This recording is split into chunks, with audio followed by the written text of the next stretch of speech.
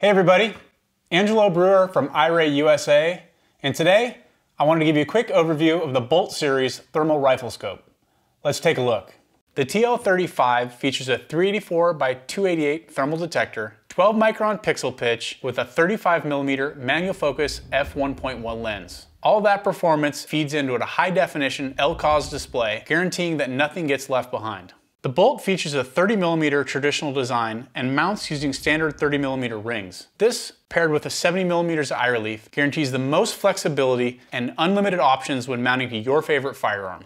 In addition to the dual internal battery design, runtime on Bolt can be extended by adding an 18500 or an additional 18650 battery with adapter, bringing runtime to over 12 hours. On top of the Bolt, the controller turret is placed in a central position, allowing easy access when behind the rifle. When adjusted, the controller turret provides both audible and tactile feedback.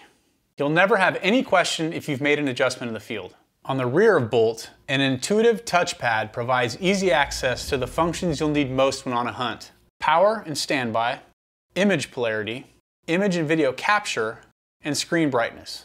The Bolt comes with 16 gigabytes of internal storage, allowing 20,000 images or up to 24 hours of video.